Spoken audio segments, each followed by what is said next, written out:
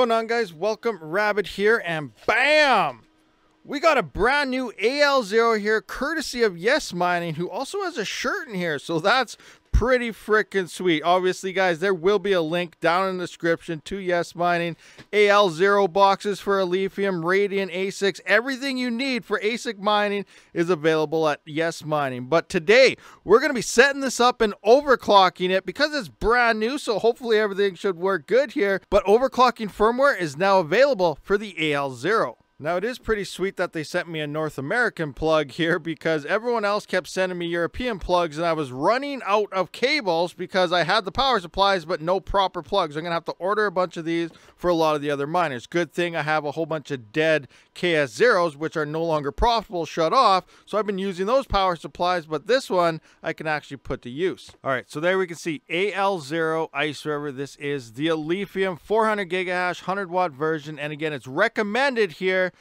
to have a separate power supply that is higher. This is a 180 watt power supply and a watt meter so you can track how much power you're actually using. So let's jump into the firmware and tell you what it says. All right, so coming in here, we can see 0.8.2 OC firmware for Iceriver AL0 was just released five hours ago. So changelog Ice River AL0 firmware building upon significant updates made to stock firmware over the past nine months for Kaspa models. So notes, please read the documentation.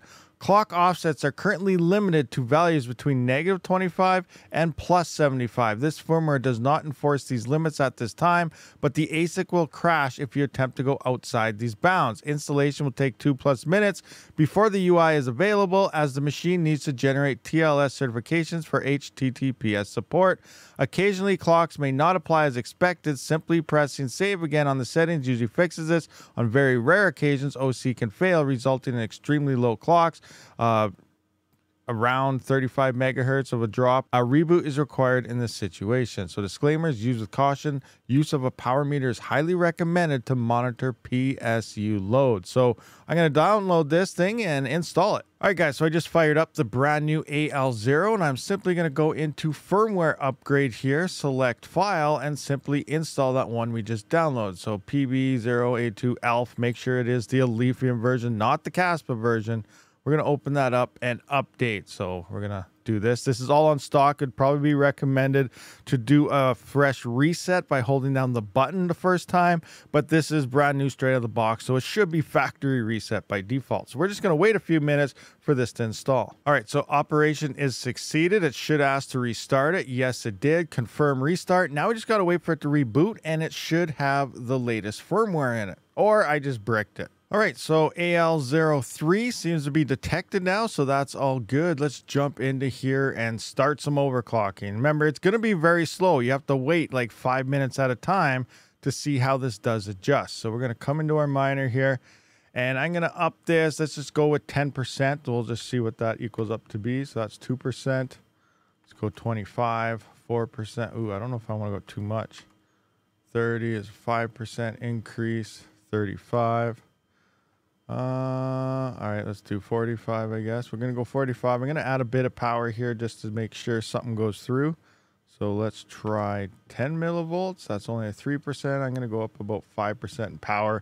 Everything does start to use quite a bit more power as you overclock. So we're going to go an extra 45 boost and a 15 and kind of see what happens. So let's save that and we got to wait for it to do its thing. So, okay, if we come into our home here, we should see a little spinning wheel. So yeah, right here we can see on the hashboard, this means it is slowly uh, upping the voltages and clock speeds that we just set. So we're going to sit here and wait for a while and see what happens, as well as keeping an eye at the wall on our watt meter. All right, so that died. I'm only at like 9.8 watts at the wall. So it definitely needs more voltages now just to sustain that. So I'm going to go to 25 and we're going to try this again. So we're going to save that. All right, so I was getting a lot of crashes and stuff, but it is looking like it's taking a lot longer to slowly apply those overclock settings. As I was adjusting up and up and everything in between here, I didn't see anything happening. The power was pretty much staying the same at the wall. And then all of a sudden, boom, everything started coming up. And we can see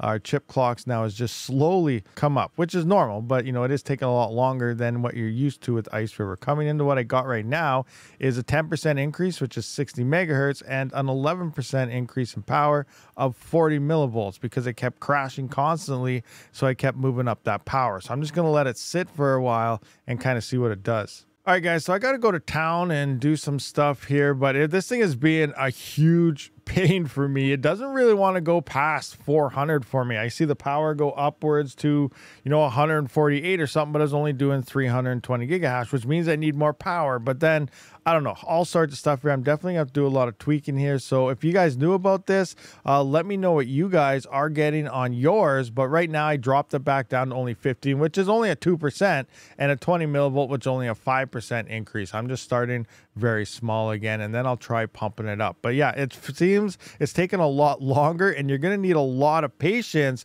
to get this one going. So again, thank you for checking out this video. The OC firmware is available now but it's it's a lot harder to configure based on the Kaspa version. So I'm probably just being dumb though and not doing it right. But I'll definitely try to get some tweaking numbers later on. But for now, I'll see you on the next one. Rabid out.